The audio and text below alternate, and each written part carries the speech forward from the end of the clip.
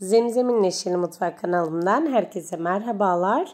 Arkadaşlar bugün sizlere görmüş olduğunuz gibi bu iki renkli ağızda dağılan kıyır kıyır bir kurabiye tarifim var. Gerçekten yapımı o kadar basit ki hem yapımı basit hem de gösterişli bir kurabiye olduğunu düşünüyorum. Lezzetli de şahane oldu sizlerle hemen paylaşmak istedim. İlk önce yoğurma kabımın içerisine 150 gram oda ısısında bekletmiş olduğum margarinimi ilave ediyorum.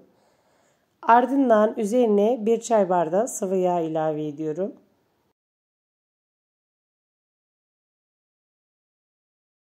Şimdi ben yağlarımı arkadaşlar güzelce böyle krem kıvamına gelene kadar hepsini elimle yoğuruyorum.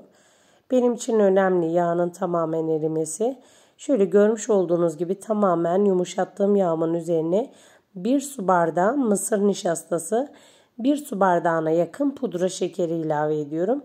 Dilerseniz tam 1 su bardağı da kullanabilirsiniz.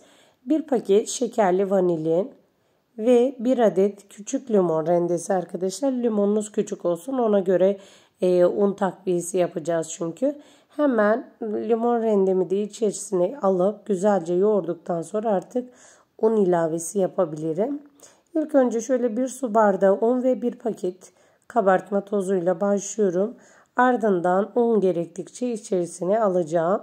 Güzelce yoğurduktan sonra toplamda 2 su bardağı 2,5 su bardağına yakın un kullandım. Siz oyun ununuzu kontrollü bir şekilde dökün. Çünkü e, unun kalitesine göre yoğunluğu değişebiliyor.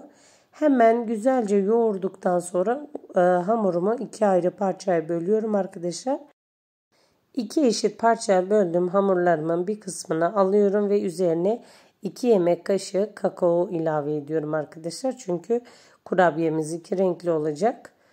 Kakaomu da ilave ettikten sonra yoğurma işlemine devam ediyorum. Tam rengini alana kadar güzel bir şekilde yoğuruyorum. Bir hamur matının üzerinde olursa daha iyi yoğrulur böyle benimki gibi. Evet görmüş olduğunuz gibi. Şimdi hemen yapmaya başladım birazcık. Ee, bir kısmını da sizlere göstereyim. Dediğim gibi arkadaşlar gelişi güzel tamamen yapıyorum. Birazcık beyaz hamurumdan birazcık kakaolu hamurumdan. Ee, içerisine çikolata parçası ben tercih ettim. Dilerseniz damla çikolata da çok güzel oluyordur. Ee, şöyle gördüğünüz gibi güzel bir rulo haline getirdim.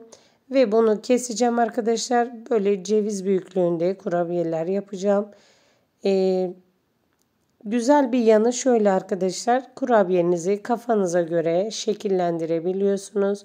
İstediğiniz gibi yapabilirsiniz. Çünkü iki renkli kurabiye hem sizi yormayacaktır hem de böyle gerçekten çok güzel olduğunu düşünüyorum. Daha önce de e, görmedim böyle kurabiye. İlk ben yapıyorum galiba bu kurabiyeden. O yüzden severek tükettik. Çok da kolay oldu hem de pratik oldu. E, siz de kesinlikle tavsiye ediyorum. Bütün tepsimin içerisine bu kurabiyelerimi dizdim. Gayet bereketli bir kurabiye oldu tarifime göre. Şimdi tepsimi 160 derecede alt üst ayarda 25-20-25 dakika kadar pişirdim. Ve görmüş olduğunuz gibi şöyle doku testi yapmak istiyorum. Gerçekten de böyle ağızda dağılan çok güzel bir kurabiye. Tam da istediğim gibi kıyır kıyır. Çok güzel oldu. Sizlerin de yapmasını kesinlikle tavsiye ediyorum.